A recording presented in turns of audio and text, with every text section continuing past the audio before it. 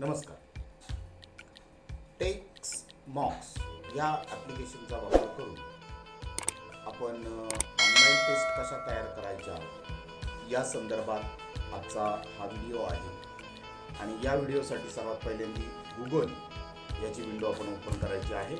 आणि यामध्ये टेस्ट मॉज असं टायपिंग केल्यानंतर पहिल्याच यात जो दिसतोय यात आपण क्लिक करायचे आहे.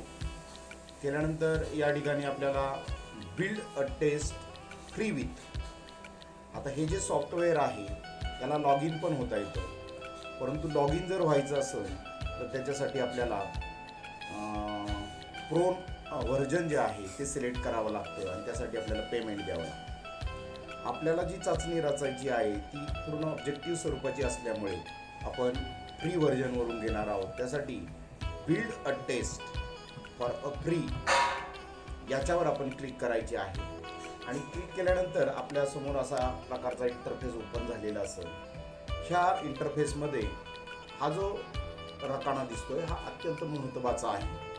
यामध्ये सर्वात पहिल्यांदा आपल्याला ज्या वर्गाची चाचणी घ्यायची आहे त्या इयत्तेचं नाव आपण टाईप करायचं आहे. समजा या ठिकाणी उदाहरणार्थ मला सातवी या वर्गाची चाचणी तयार करायची आहे. त्यामध्ये विषय घ्यायचा अशा पद्धतीने.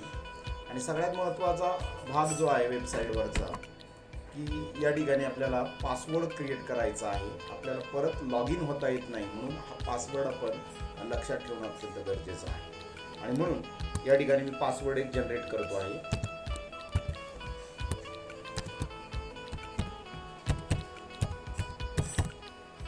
जो पासवर्ड आता मी टाईप केलेला आहे तो परत आपल्याला या कॉलममधनं रिटाईप करायचा आहे.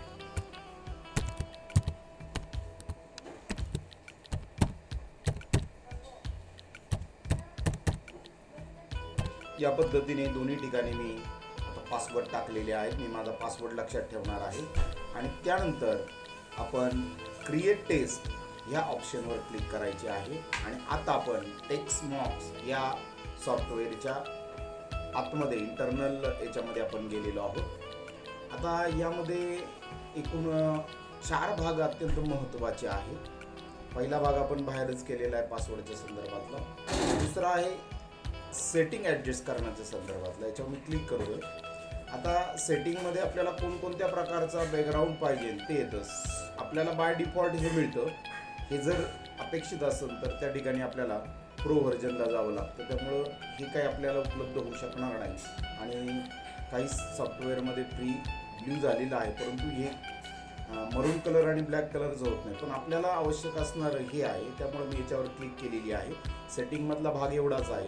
दुसरा इथं लेटर बोल्ड करण्यासाठी इटॅलिक करण्यासाठी लेटरला अंडरलाईन करण्यासाठी वर्ग लिहिण्यासाठी किंवा आपण सूत्र लिहितो सायन्समधली एच टू ओ त्यासाठी असे ऑप्शन या ठिकाणी जसं आपण वर्डमध्ये पाहतो अगदी सेम तसेच ऑप्शन आहे. फॉन्टची साईज त्याचा कलर त्यानंतर क्लिअर फॉर्मॅटिंग व्हिडिओ रेकॉर्डिंग त्यानंतर एखादी फाईल अपलोड करणे. ह्या सगळ्या जे मेनू आहेत याच्यासाठी आपल्याला प्रो व्हर्जन घ्यावं लागतं. आपल्याला ऑपरेट करणारे हे सगळे ऑपरेट होत आहेत. आणि याची लिंक आपण या ठिकाणावरून जनरेट करू शकतो. अजून सुद्धा जनरेट करण्याचा एक ऑप्शन आहे तो आपण पुढे पाहूया. हा झाला पहिला मेनू पहिल्या मेनू नंतर आपण परत एकदा दुसऱ्या मेनूवर येणार आहे. हा मेनू आपल्यासाठी सगळ्यात महत्त्वाचा मेनू आहे. ॲड क्वेश्चन याच्यावर आपण क्लिक केल्यानंतर साधारणतः आपल्यासमोर अशा प्रकारचा इंटरफेस ओपन झालेला आपल्याला पाहायला मिळेल. आता क्वेश्चन ॲड करताना काही ठराविक क्वेश्चन या ठिकाणी उपलब्ध आहेत. आणि तेच प्रश्न आपल्याला त्या ठिकाणी घेता येतात. समजा त्या व्यतिरिक्त जर आपल्याला इतर घ्यायचे असतील तर आपल्याला त्यासाठी सगळ्यात महत्त्वाची बाब म्हणजे त्या ते जे सॉफ्टवेअर आहे ते आपल्याला प्रो व्हर्जनमधनं विकत घ्यावं लागेल. आणि म्हणून या ठिकाणी हा महत्त्वाचा मुद्दा आपण विचारात घ्या. इन्सर्ट या मेनूमध्ये जर आपण गेलं तर या ठिकाणी आपल्याला या प्रकारचे पर्याय उपलब्ध झालेले पाहायला मिळतील. यामध्ये multi choice question multiple question true and false matching fill in the blanks easy essay या प्रकारचे जे ग्रँडेड क्वेश्चन आहे ते आपण घेऊ शकतो. यातले खाली काही घेऊ शकतो आपण पण बऱ्याचमध्ये रिस्ट्रिक्शन आहे आणि ते पे व्हर्जनला जातं. त्यामुळे आपल्याला फ्री व्हर्जनमधनं घ्यायचं असल्यामुळं समजा मल्टिपल चॉईसचा क्वेश्चन घ्यायचा असेल तर तो इथं क्लिक करायची. या ठिकाणी आपल्याला क्वेश्चनसाठी कर्सर अवेलेबल होतो. आणि मग आपण या ठिकाणी क्वेश्चन टाईप करायचा. उदाहरणार्थ मी या ठिकाणी क्वेश्चन टाईप करतो. Data dash is our life या पद्धतीने मी माझा प्रश्न टाईप केला. मला चार पर्याय नको आहे म्हणून मी काय करणार? हा पर्याय काढून टाकणार. चॉईस एकला मी टाकणार हाऊस दोन नंबरच्या पर्यायाला समजा मी टाकणार वॉटर आणि तीन नंबरच्या पर्यायाला मी टाकणार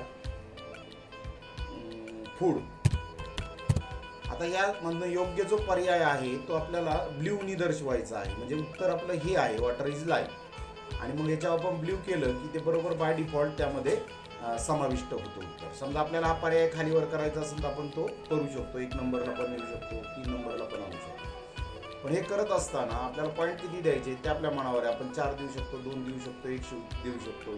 या पद्धतीने आपण प्रश्नांचं कन्स्ट्रक्शन करायचं. जोड्या लावासारखा जो प्रश्न आहे तो सुद्धा आपण यातनं निवडू शकतो. इथं इन्सर्टवर जायचं मॅच द पेअर म्हणायचं. या पद्धतीने आपल्याकडे येतं. इथं आपण काय करायचं? आपल्याला ज्या जोड्या लावायच्या त्या टाकायच्या. इथे त्याची उत्तरं लिहायची. आणि कोणतं उत्तर कशाचं आहे? समजा कॅटचं उत्तर जर आपण घेतलं ते जर मॅमलमध्ये असेल तर त्याचं उत्तर वन येईल. किंवा आपल्याला समजा वेलचं उत्तर लिहायचं आहे तो समजा इथं इन्सेक्टमध्ये असेल तर इथं क्लिक करायची त्याचं उत्तर दोन सेट करायचं. आता मी इथं काही सांगतो कारण इथले पर्याय बरोबर नाही आहे अशा पद्धतीने इथं आपण उत्तरं सेट करून ठेवायची आणि मग तो क्वेश्चन आपला विद्यार्थ्यांना दिसतो. याच्यावर लिहिताना आपण इथं टाईप करणं गरजेचं आहे मॅच द फॉलोइंग या पद्धतीने आपण क्वेश्चन आणि आन्सर आपल्या टेस्टमध्ये इन्क्लूड करू शकतो.